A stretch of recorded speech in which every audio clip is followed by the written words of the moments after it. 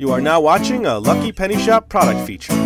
Hey, Lucky Penny Shop fans, puzzle fans. Are you a puzzle fan? Well, we have got a ton of puzzle videos. Why do we videotape them? Why not?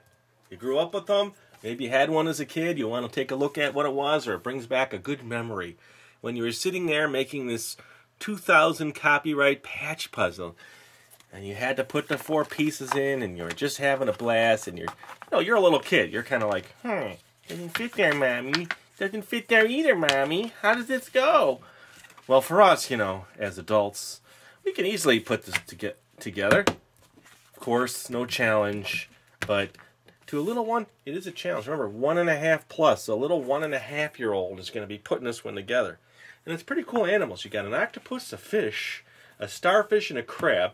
It is like a cardboard puzzle, so not a wood frame tray in any way. Pretty neat. So there you go.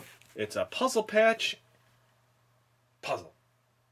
So there you go. It's a puzzle patch. So there you go. It's a Sea Life Puzzle Patch puzzle. Thanks for watching our eBay product video. And always remember, if you see a lucky penny, pick it up.